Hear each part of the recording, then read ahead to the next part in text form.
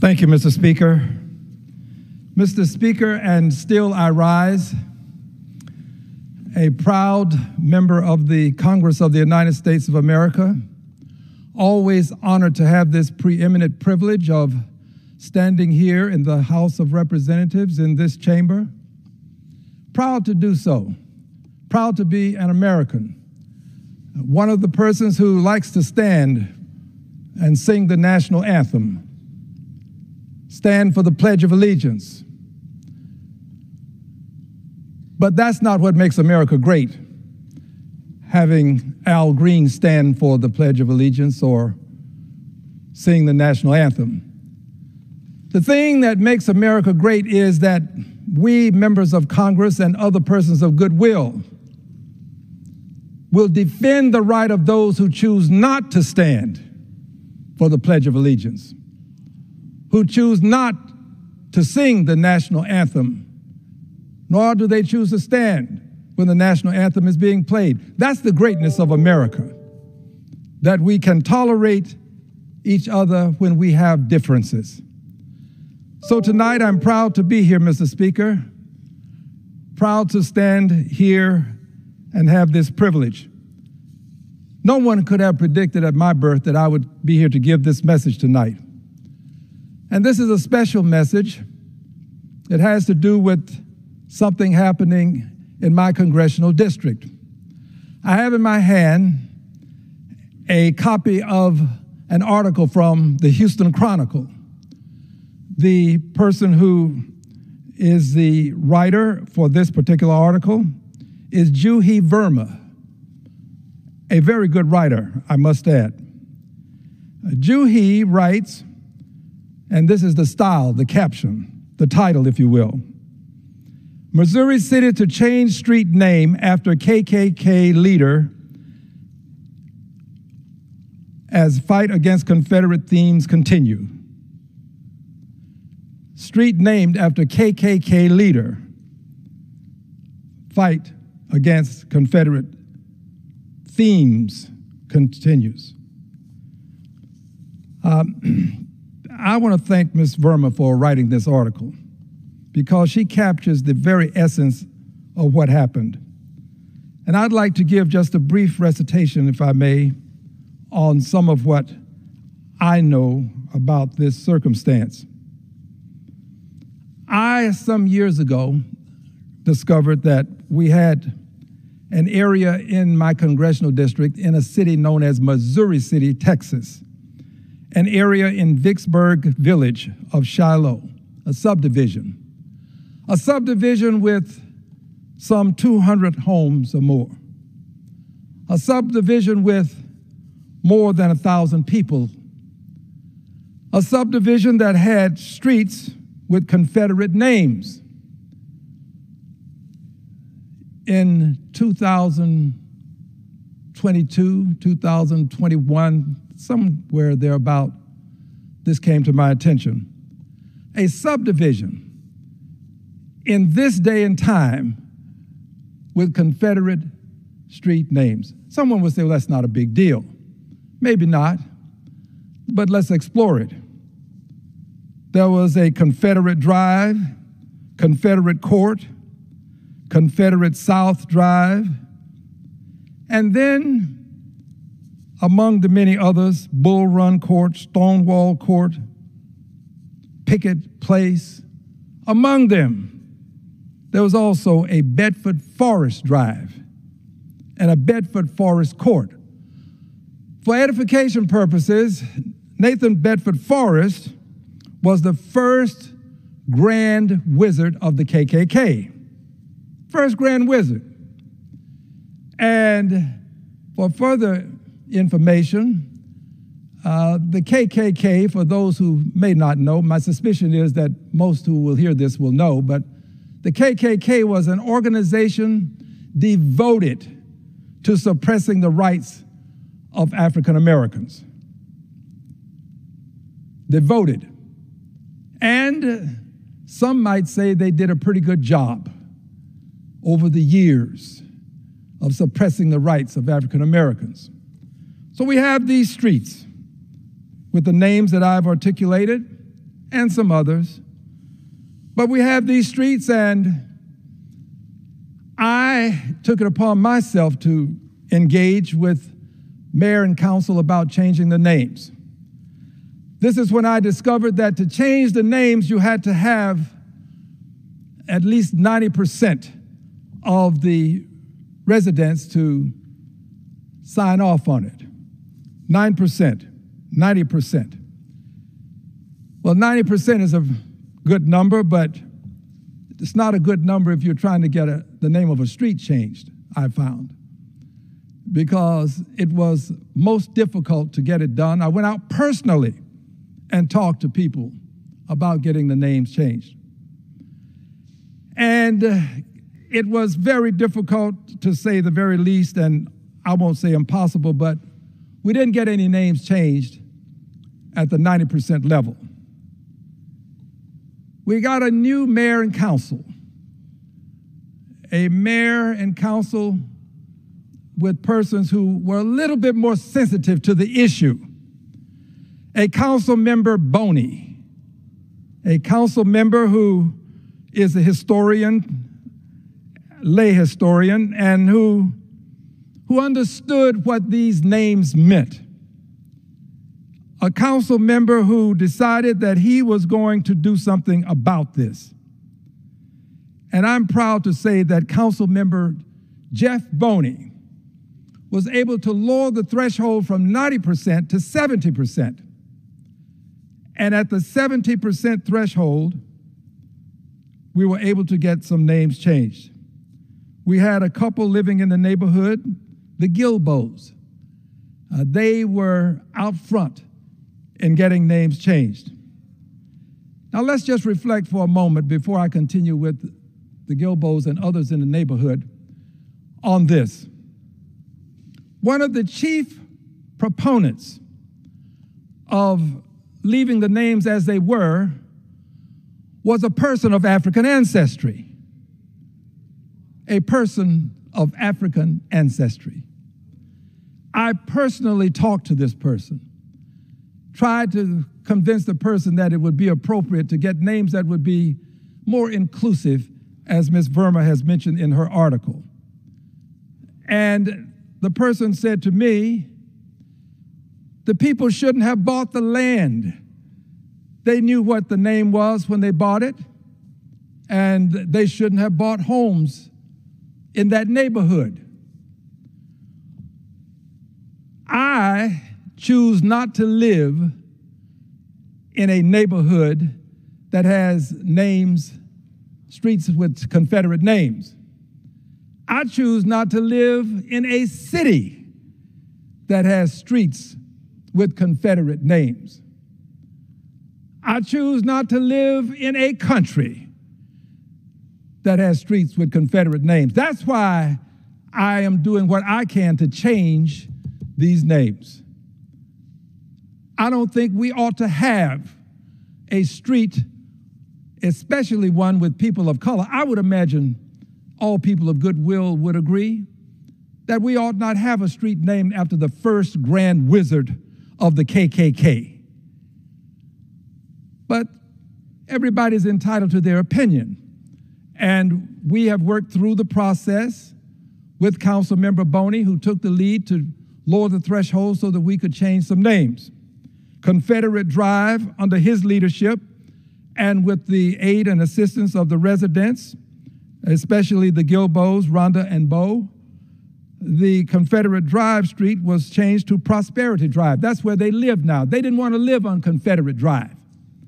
Confederate Court to Prosperity Court, Confederate South Drive to Prosperity South Drive.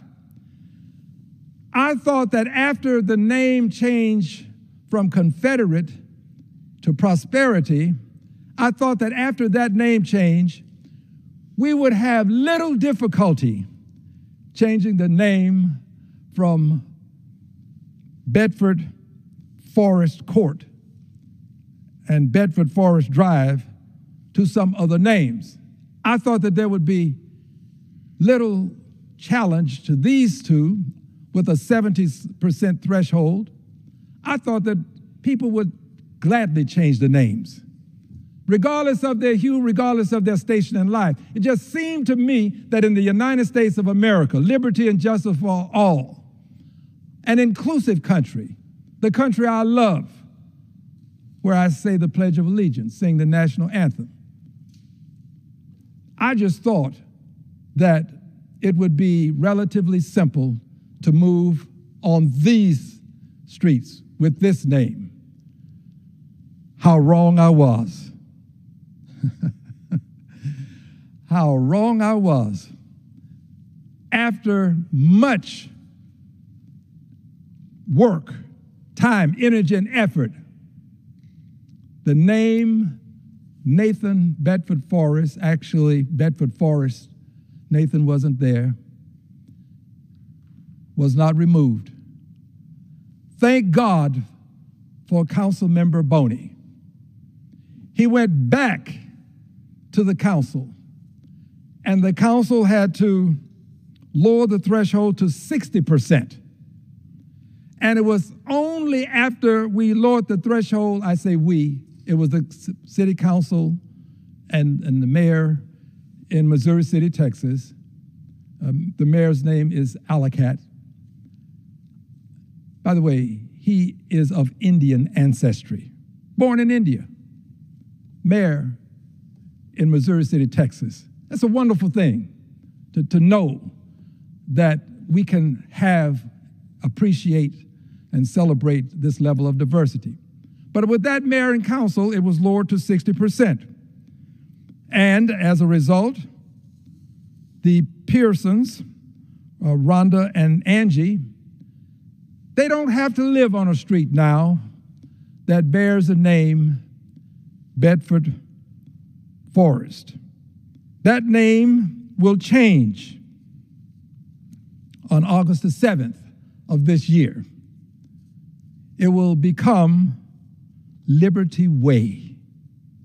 Liberty Way Drive is a street that they will live on, and there's a Liberty Way Court. But it will become Liberty Way. Inclusive speaks to some of, something associated with the founding principle of this country liberty, justice for all, and the Pledge of Allegiance. That's a wonderful thing to see occurring. And perhaps we'll get to Bull Run Court, Stonewall Court, and some others, Pickett Place, Confederate General Pickett. Well, maybe we can get to these in the near future. But I'm proud of what has been done. And I want to commend Councilmember Boney. I want to commend the Pearsons. I want to commend all of the persons who were associated with these endeavors, the Gilbos, for what they have done to bring a sense of justice to the people who live in this neighborhood. But there is something more sinister that has taken place that I want to call to your attention with reference to this. And the best way to explain it is to tell you about my flight that I took in from Houston to Washington, D.C. I fly over 100 times a year. On this occasion, a couple of weeks ago, I, um, I saw a movie while I was on the plane. It was a movie that was heart wrenching for me. A movie about a young man who was born to a father who was a wealthy plantation owner and a mother who was a slave. The name of the movie is Chevalier. I won't spoil it for you. I'm going to go right to the gravamen of my message, the heart of this. The essence of it is this. He was talking to his mother, and they were talking about how evil had caused some physical harm. I won't spoil the movie for you because I think that it's worthy of seeing. But they were talking about how evil had caused this harm, physical harm. And his mother said to him, she reminded him, yes, the physical harm, but it's really the evil that has impacted our minds that she called to his attention. How evil had caused people to accept things that were unacceptable to other people, unacceptable to the masses, but evil can teach you to accept things. There were people who accepted the notion that this was all right to live on a street named after the first grand wizard of the KKK. Evil can do this.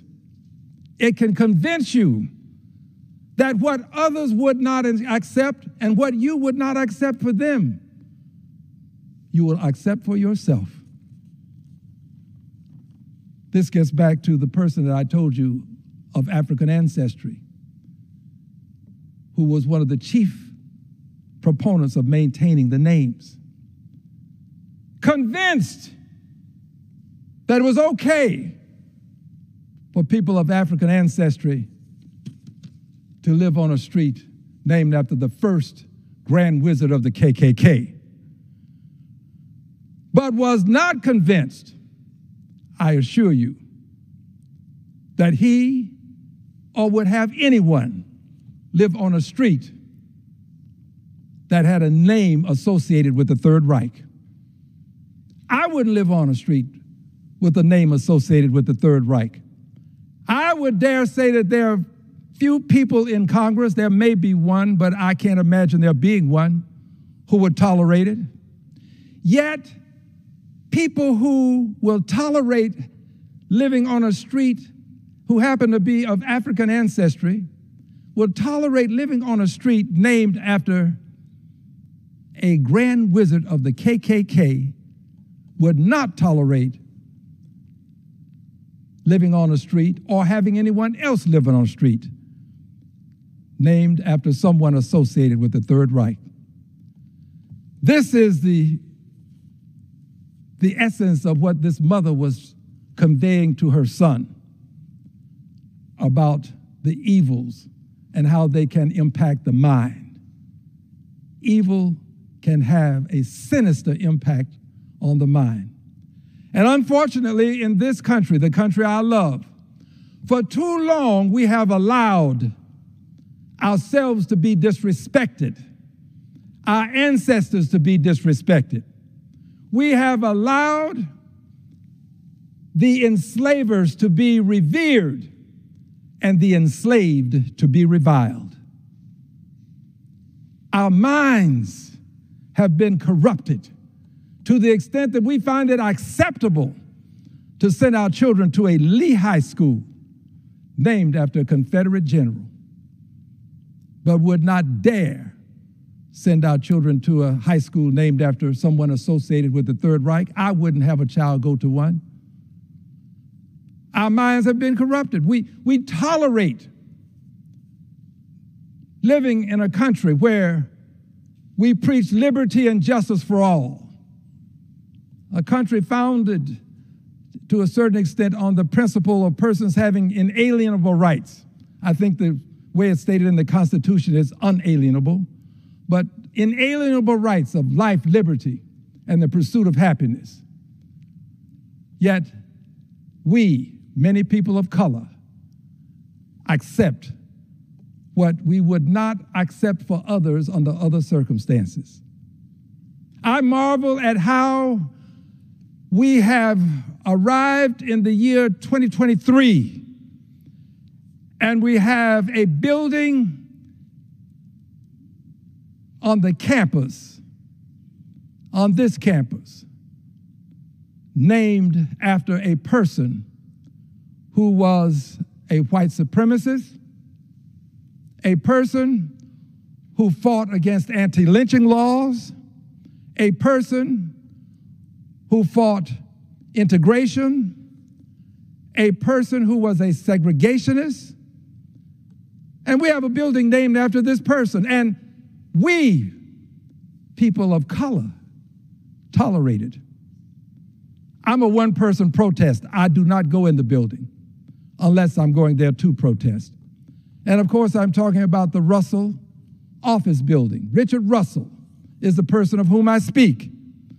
The person who was one of the co authors of the Southern Manifesto. Richard Russell. The Senate has a building named after Richard Russell. I have here what we refer to as a conscious agenda. The third item on this agenda is to remove Richard Russell's name. Taxpayer dollars, my dollars, taxpayer dollars ought not be on the name of a building that would honor a bigot and a racist. Richard Russell.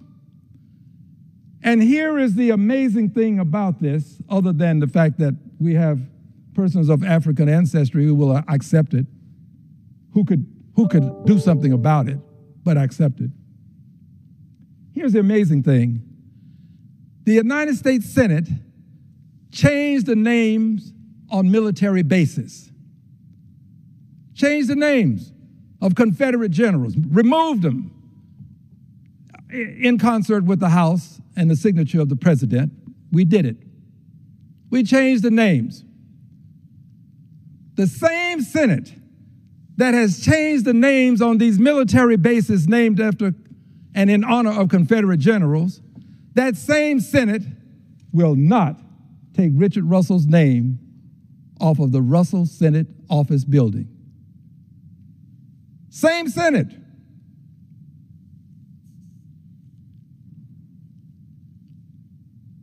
Shows the lack of respect the Senate ought to be ashamed.